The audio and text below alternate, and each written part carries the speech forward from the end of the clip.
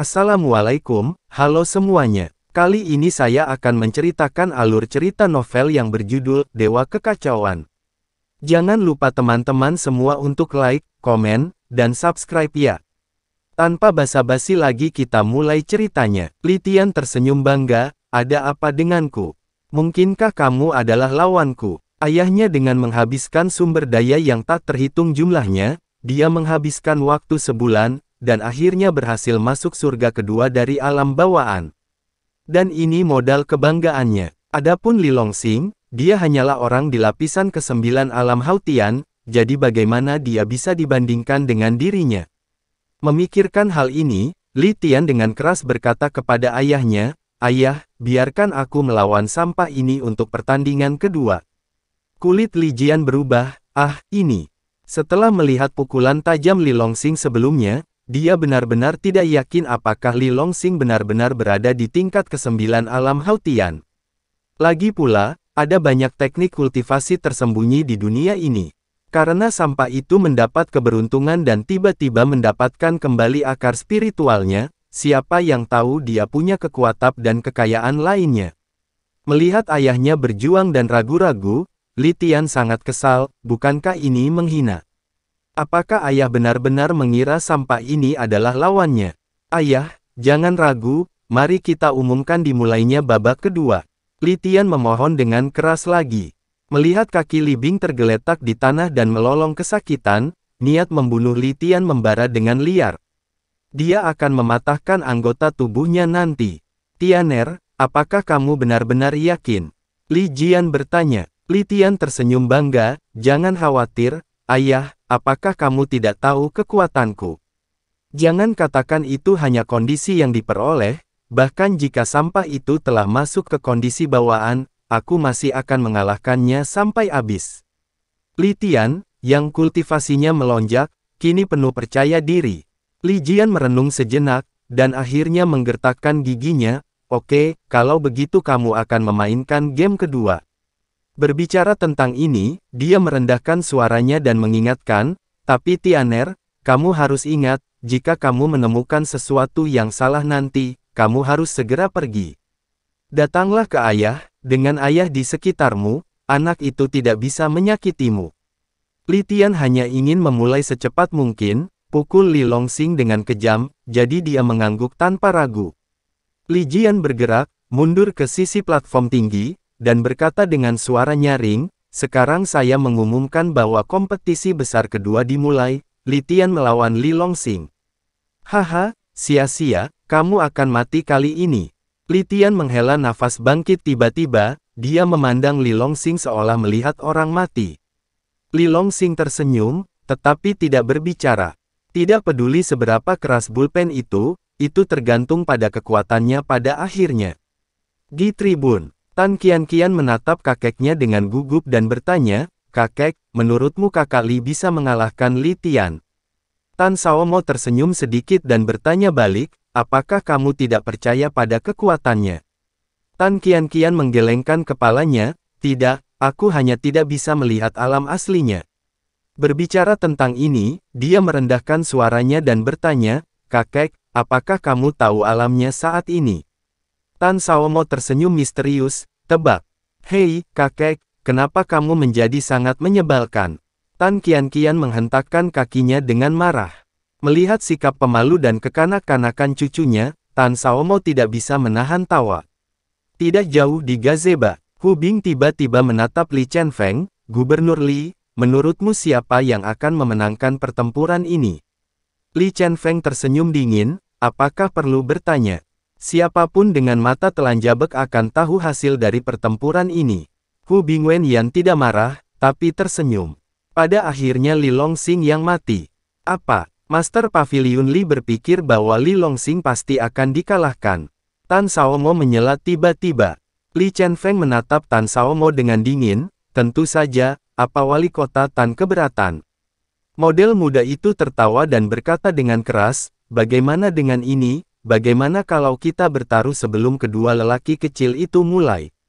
Mata Li Chen Feng berkilat, oh, bagaimana kamu mau bertaruh? Tan Saomo berkata sambil tersenyum, bukankah Master Pavilion Li berpikir bahwa Li Longsing pasti akan kalah? Tapi lelaki tua itu justru sebaliknya. Saya pikir Li Tian pasti yang kalah. Berbicara tentang ini, tiba-tiba suara miliknya meningkat, karena jika tidak ingin menyakiti perasaan kedua keluarga, ayo bertaruh sedikit, bagaimana kalau bertaruh satu juta batu roh? Setelah mengatakan itu, Tan Saomo mengeluarkan tas penyimpanan hitam dan menaruhnya langsung di atas meja di depannya. Hah! Melihat adegan ini, ada banyak suara terengah-engah di dekatnya. Semua orang menatap Tan Saomo dengan tercengang, bertanya-tanya mengapa dia mendukung sampah itu. Sudut mulut Li Chen Feng tiba-tiba berkedut. Bagaimana dengan Niang, taruhan satu juta batu roh masih kecil. Ini hampir setengah dari harta keluarga Mukan. Tan Saomo melihat Li Chen Feng terdiam.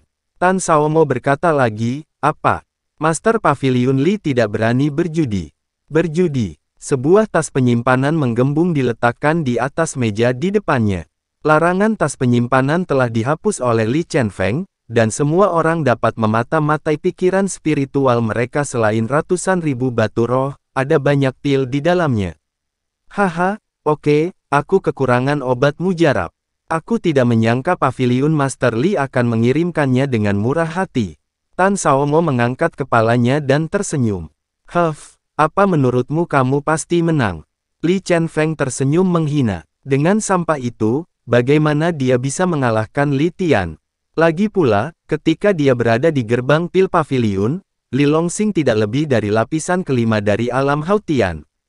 Bahkan jika Li Longsing adalah seorang jenius tiada taraf, dari sudut pandang Li Chen Feng, dia hanya bisa melangkah ke tingkat pertama alam Xiantian sekarang. Tapi Li Tian sudah berada di tingkat kedua alam Xiantian. Ranah benar-benar hancur, bagaimana Li Tian bisa kalah? Haha, Pavilion Master Li, kompetisi sudah resmi dimulai, lihat, hah. Kenapa begitu cepat berakhir? Tan Saomo berkata, tiba-tiba dengan lambaian tangan kanannya, dia membawa tas penyimpanan di meja Li Chen Feng ke dalam tangannya. Apa yang kamu lakukan? Li Chen Feng berkata dengan marah. Haha, Tentu saja taruhannya dikumpulkan. Tan Saomo tersenyum, dan menunjuk ke alun-alun di depannya, lihat sendiri, hasilnya sudah keluar. Huff, omong kosong, akulah yang menerimanya. Ah, bagaimana mungkin? Saat berikutnya, Li Chen Feng tiba-tiba berdiri, matanya menatap seperti mata banteng, wajahnya penuh ketidakpercayaan. Saya melihat alun-alun, hasilnya telah dibagi. Li Longsing berdiri dengan bangga. Dan Li Tian, yang dia yakini pasti akan menang, diinjak-injak oleh Li Longsing seperti anjing mati saat ini, tidak bisa bergerak. Hu Bing, apa yang terjadi? Bagaimana Li Tian kalah? Li Chen Feng bertanya dengan tidak percaya. Hu Bing membeku, dan bergumam, maaf, aku juga tidak tahu. Dia memperhatikan taruhan dari dua tembakan besar barusan, jadi dia tidak melihat situasi di medan perang. Katakan padaku, Li Chen Feng menunjuk ke kepala sebuah keluarga kecil. Setelah mendengar kata-kata itu, Patriark terkenal dengan cepat menjawab dengan jujur, Pavilion Master Li, saya baru saja melihat bahwa Li Longsing menamparkan Li Tian hingga jatuh. Tampar, mulut Li Chen Feng berkedut keras. Iya, ini seperti mengalahkan Li Bing. Jawab Patriark, sialan, bagaimana ini mungkin? Li Chen Feng merosot di kursi. Sialan, satu juta batu rohku. Li Longsing memandang Li Tian dengan rendah hati, bagaimana? Apakah kamu yakin? Li Tian meraung panik, Huff, aku tidak setuju, kamu baru saja berhasil dalam serangan diam-diam. Sampai sekarang, Li Tian tidak bisa menerima hasil yang kejam ini. Bagaimana mungkin master dari alam bawaan tingkat kedua ditampar oleh sampah ini? Li Longsing mengangkat kaki kanannya yang berada di atas kepala Li Tian, Oke, karena kamu tidak yakin, ayo lakukan lagi. Litian melompat, di matanya haus darah dan ganas, meninju Li Longsing dengan keras. Pukulan ini cepat dan keras, menyebabkan udara berputar dan meledak. Namun, saat pukulan itu hendak mendekat, Li Longsing menamparnya seperti sebelumnya. Sebuah pernyataan yang meremehkan, itu seperti memukul lalat. Plak, ah. Jeritan bergema di seluruh alun-alun, Li Tian terbang keluar seperti orang-orangan sawah, dan terbanting dengan keras ke platform tinggi. Segera, sesosok mengikuti seperti bayangan, tiba seketika, dan langsung menginjak kepala Li Tian. Ah, bagaimana mungkin? Ini tidak mungkin. Saya adalah pembangkit tenaga listrik nomor satu dari generasi muda keluarga Li. Bagaimana saya bisa kalah dari sampah seperti dia? Li Tian sama sekali tidak bisa menerima hasil ini. Awalnya penuh percaya diri, dia bagaikan jatuh dari langit ke tanah. Menderita pukulan ganda secara fisik dan mental. Semakin tinggi Anda berdiri, semakin keras Anda jatuh. Melihat penampilan gila Li Tian, Li Longsing tersenyum dingin, mengangkat kaki kanannya, dan hendak menginjaknya. Dia tidak memiliki belas kasihan bagi mereka yang mempermalukannya dengan segala cara di masa lalu. Lagi pula, jika dia yang kalah, hasilnya pasti sepuluh ribu kali lebih buruk dari sekarang. Hanya mengandalkan kekejaman Litian, dia harus hidup tapi tidak mati. Menginjak-injaknya sampai mati sendirian sudah menunjukkan belas kasihan. Binatang kecil, beraninya kamu. Berhenti. Melihat Li Longsing hendak menginjak-injak putranya sampai mati, wajah Li Jian berubah kaget, dia bergerak, dan dia bergegas menuju Li Longsing seperti kilatan petir. Beberapa tetua kediaman Li juga melompat dari tempat duduk mereka dan bergegas menuju alun-alun. Namun, kecepatan Li Jian tidak lebih cepat dari Li Longsing. Melihat kaki kanan Li Longsing akan mendarat di kepala putranya, mata Li Jian memerah dan dia meraung dengan marah, Bajingan kecil, jika kamu berani membunuh anakku, aku pasti akan mengulitimu, dan memotongmu. Boom! Ah! Namun, begitu dia selesai berbicara, jeritan melengking bergema di langit. Kepala Litian langsung meledak, dan benda-benda merah dan putih tersebar ke segala arah. Ah! Banyak benda merah dan putih jatuh di tubuhnya, tapi Lijian mengabaikannya, dan hanya ada kebencian tak berujung di matanya, membara dengan gila.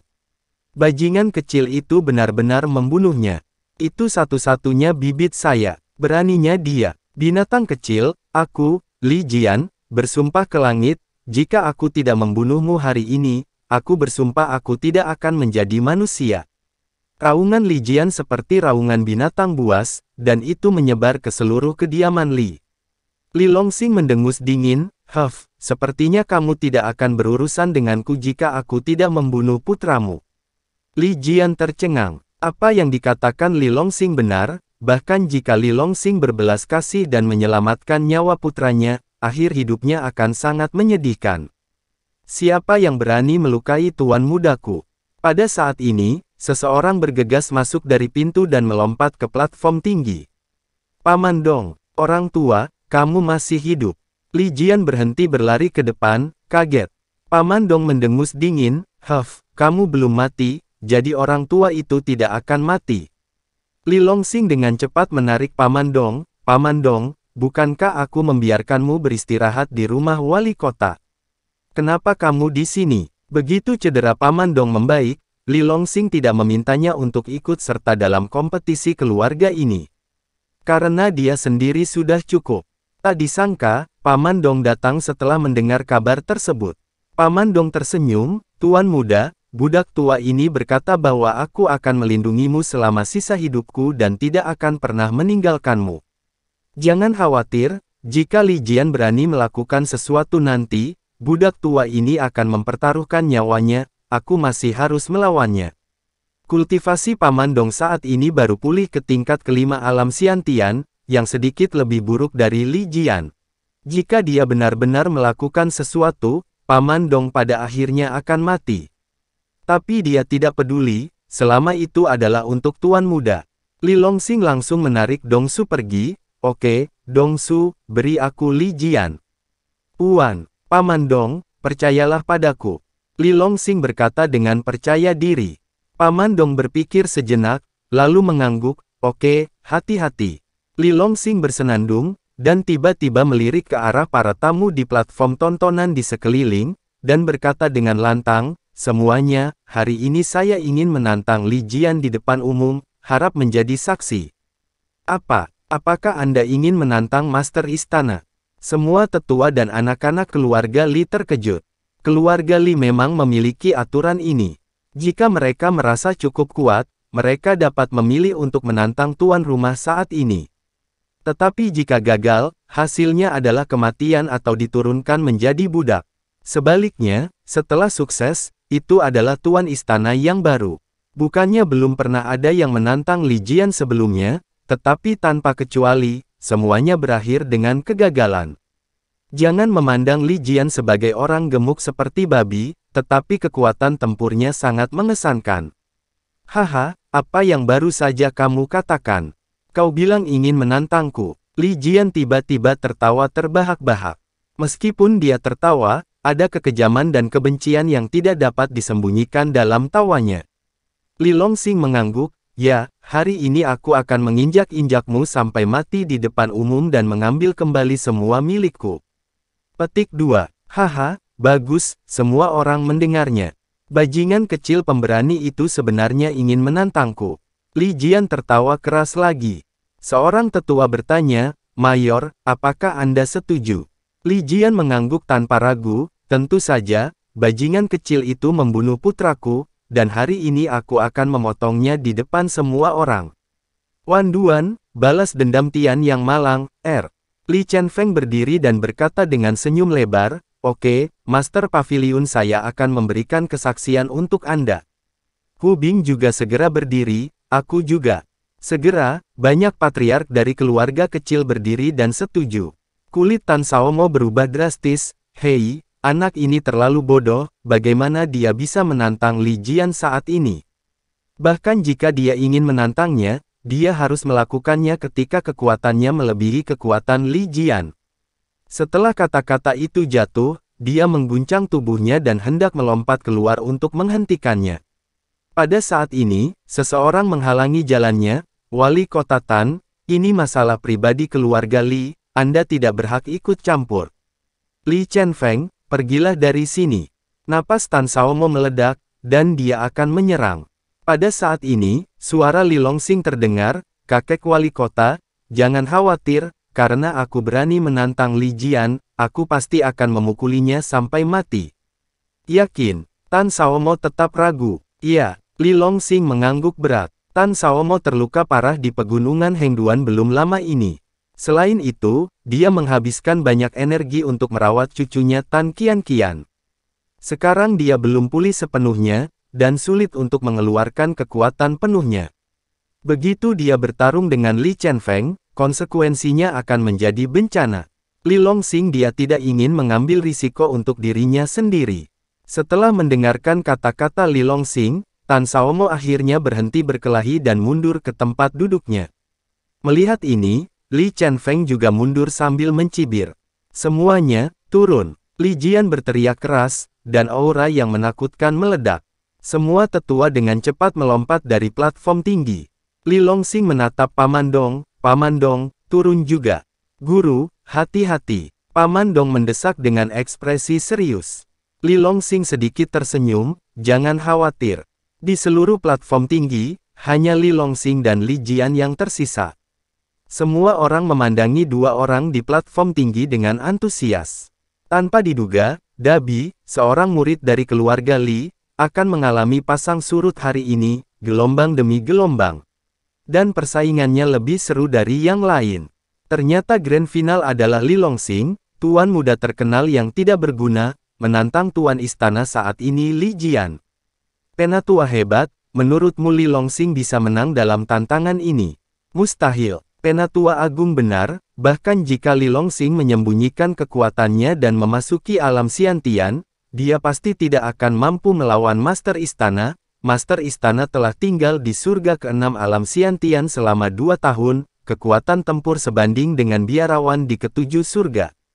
Yah, aku juga berpikir Li Longsing tidak punya harapan.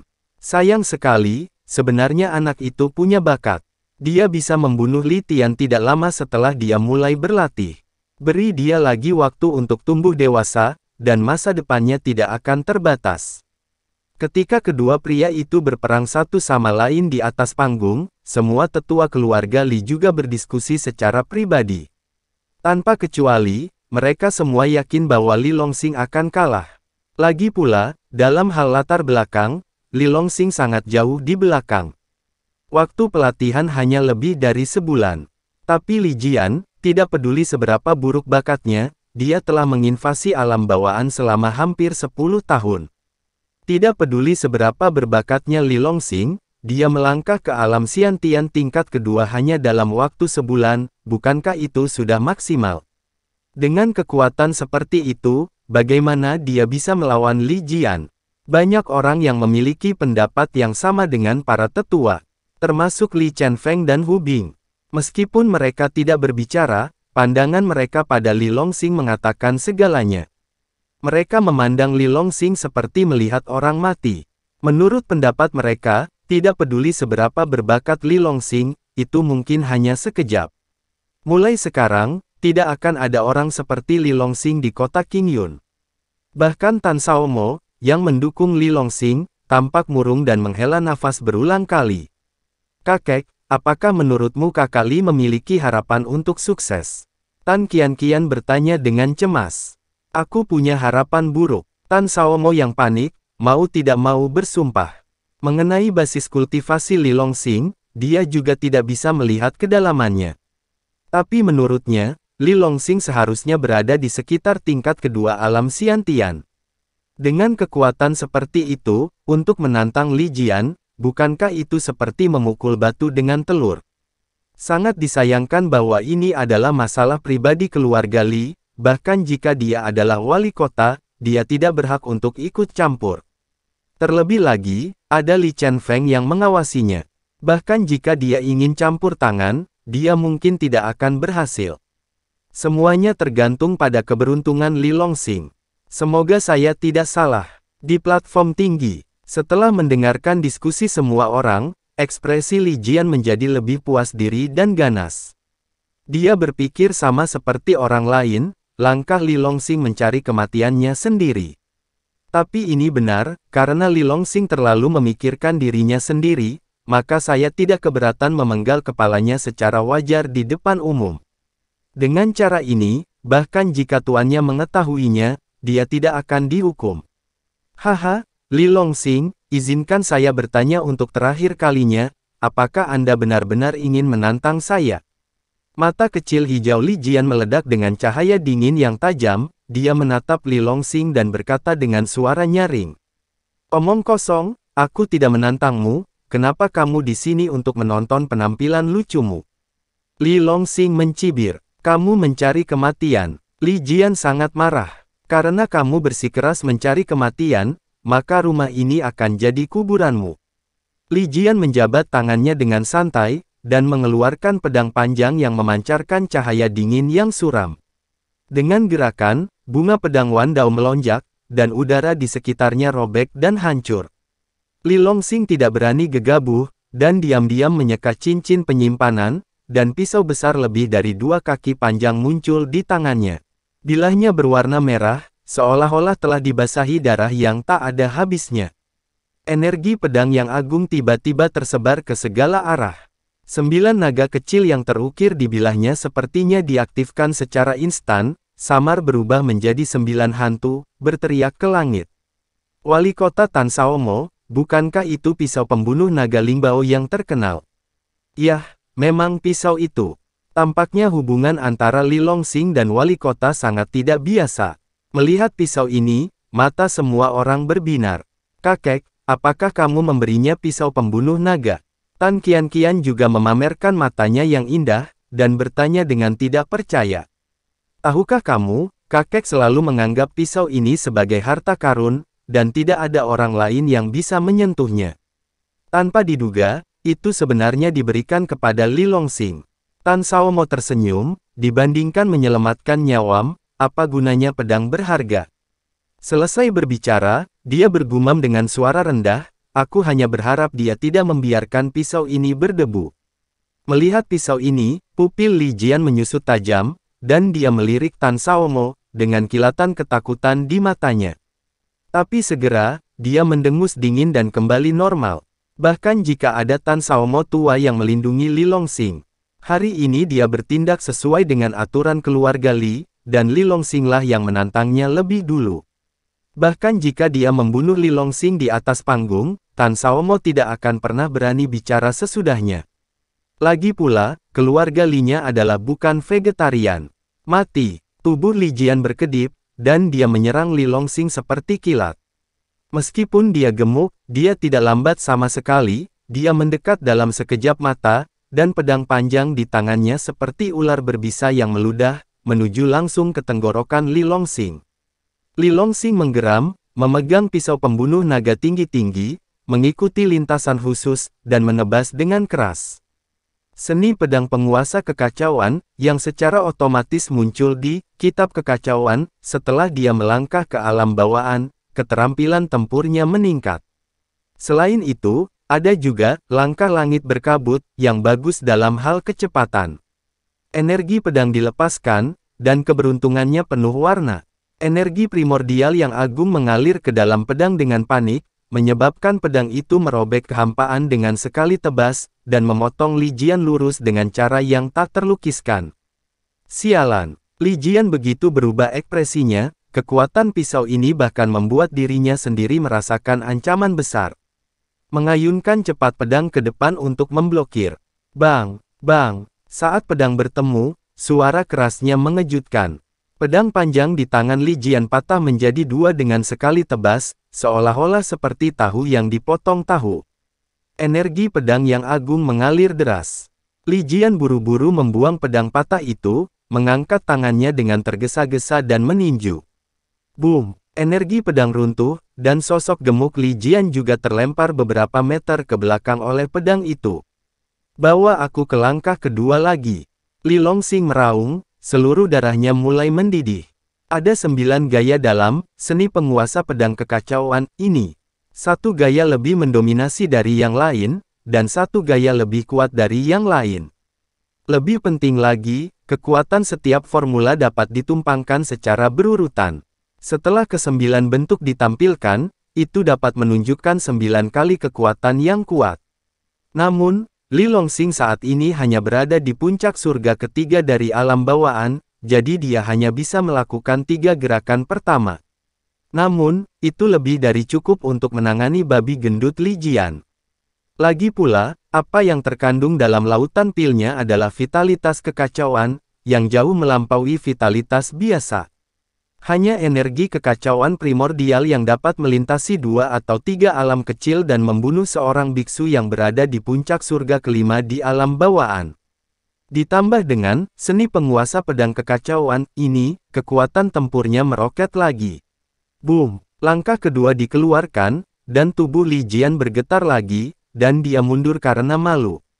Menstabilkan sosoknya, dia melihat ke bawah, dan ada luka sepanjang zang di jubah di dadanya, dan darah membumbung tinggi. Sialan kau bajingan kecil, aku akan membunuhmu. Li Jian sangat marah. Berpikir tentang dia, seorang pria kuat di puncak langit keenam di alam bawaan, dipaksa sedemikian rupa oleh sampah ini, sehingga dia sama sekali tidak berdaya untuk melawan. Semakin dia memikirkannya, semakin dia sedih, dan dia segera menggunakan kartu trufnya tanpa ragu-ragu.